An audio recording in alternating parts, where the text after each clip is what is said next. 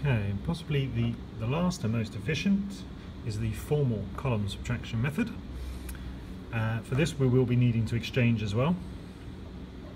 Uh, so I'm going to use a one colour pen. So here I can see the 8 is bigger than the 6, which means I'm going to be exchanging a 10 from there, so that's going to be a 40.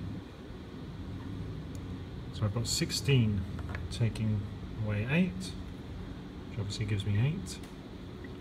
Now I've got 40 take away 70. Again, that 7 is too big. So I'm going to need to exchange from my hundreds. So I'm going to exchange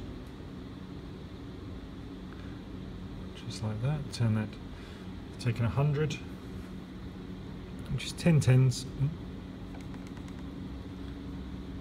and add it into the 10 column. So now I've got 14 tens. So 14 tens, take away 7 tens, leaves me with 7 tens. And I've got 700s taking away 300, which leaves me with 400. Like so.